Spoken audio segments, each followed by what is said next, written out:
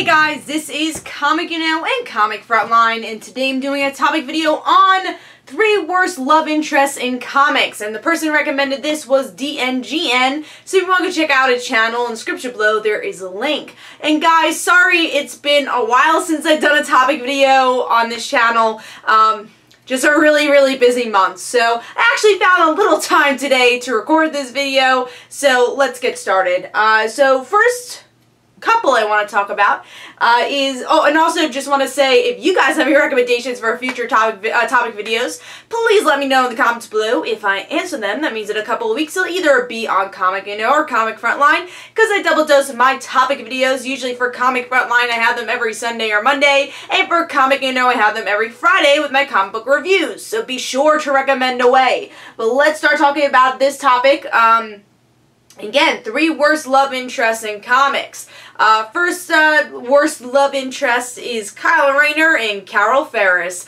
So this is a more recent relationship that just why? Why did why did we need them together?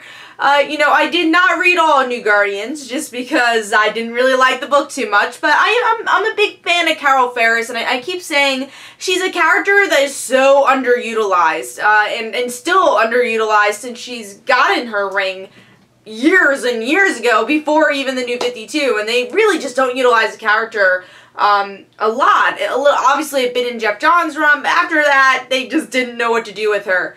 Uh, so they put her in this relationship with Kyle Rayner, and it was weird, and it didn't work, and now... Where's Carol Ferris? I don't even know. We really haven't seen her, so uh, hopefully we see her soon. Next couple is, of course, um, Hank Pym and, and Janet Van Dyne. Now, I think this is a more controversial one, um, but the reasoning, obviously, a lot of times it didn't work out with them. You have the infinite, infamous slap uh, in in the older comics from Hank Pym. So, and even I kind of like the way they did it. Well, don't like it how they did it, but it was an interesting story of how they dealt with their relationship in the Ultimate Universe also.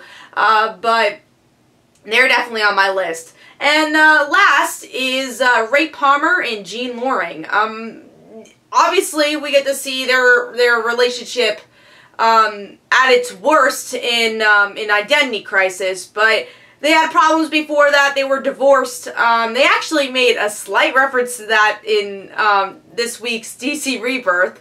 Uh, so yeah, you know they they definitely had a lot of a lot of bumps and. Uh, they, they they are definitely one of the worst relationships I can uh, I can remember in comic books. So let me know in the comments below what do you think are the worst relationships in comic books. Uh, I'm sure a lot of people are going to mention Aunt May and Dr. Octopus almost getting married, I'm sure.